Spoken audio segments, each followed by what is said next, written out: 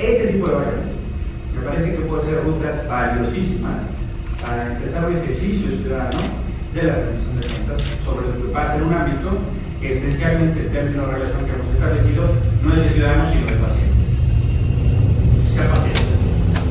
El doctor considera que lo que tiene que hacer es que. También así, hemos venido haciendo un debate poco a poco se va ganando de quién es el expediente. La institución o el ciudadano. Ya quedó claro que es ciudadano. Pero ese ahora ni siquiera le daban acceso al expediente. Ah, no, este, este es mío, ¿eh? Entonces el ISTE lo guardaba como si fuera un asunto de seguridad nacional. Y entonces otra persona que tenía que empezar un trámite tenía que hacer los trámites todo el ISTE, el INSE, todo lo consideraban de su propiedad. Ah, no sé. Los expedientes eran algo así cercano Para activar la bomba nuclear. No puede ser, esa es una confusión.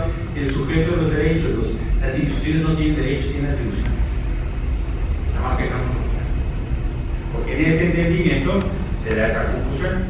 Y también, me parece que en el caso del derecho a la salud, y con esto termino, hay un tema interesantísimo que tiene dos perspectivas. El primero es el seguimiento de la política pública.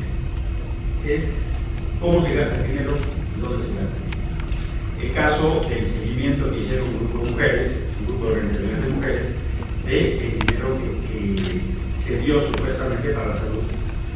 Y supimos que se acabó gastando en tangas más fuentes lujosas. ¿no? O algunos casos me dijeron, hombre, dinero para VIH-Sida.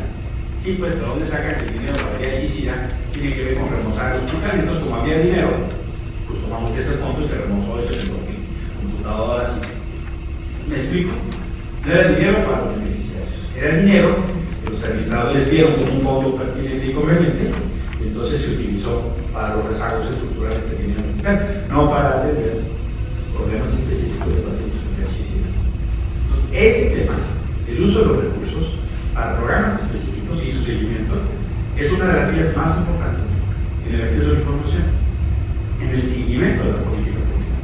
Y ha habido casos paradigmáticos que hasta la fecha son en una discusión. El señor Serrano, pues a donde van, que lo persiguen en la tanga, ¿no?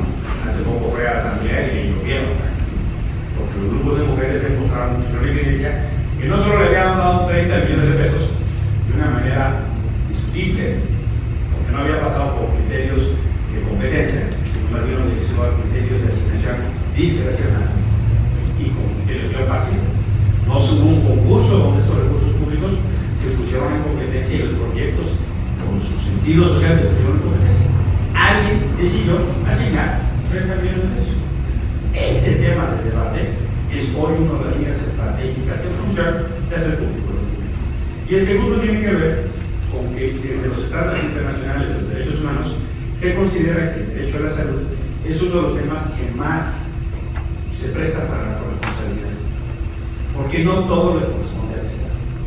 Hay criterios significativos donde el nivel de salud también depende de ciertas pautas individuales. Cuando hay personas que tienen acceso y condición, por ejemplo, a alimentación, por lo que se ha determinado es que ciertas pautas alimenticias o ciertas conductas que propician o, de, o demeritan la salud.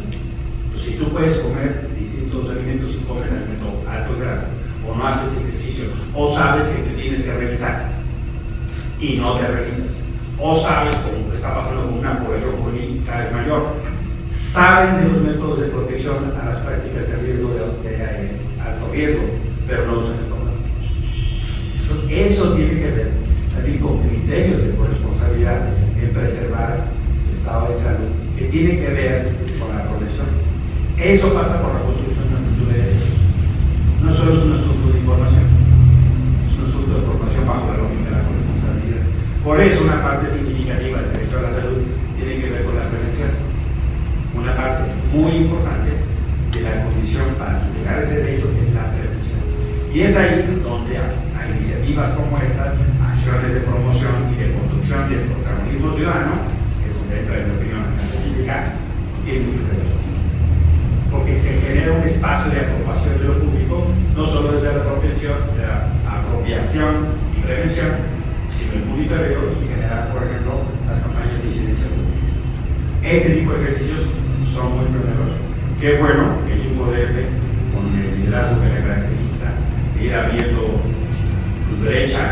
y, y rompiendo hielo en el mar de, la secrecía y la cultura del apropiamiento de información pública, ¿no? como un rompehielos, y además qué bueno que se asociaron con los actores como Unify, es el mismo referente del marco internacional, con la Unión Europea y con las dependencias del gobierno nacional, que afortunadamente, eh, como dijo el jefe gobierno, ahora que fue su informe de segundo año,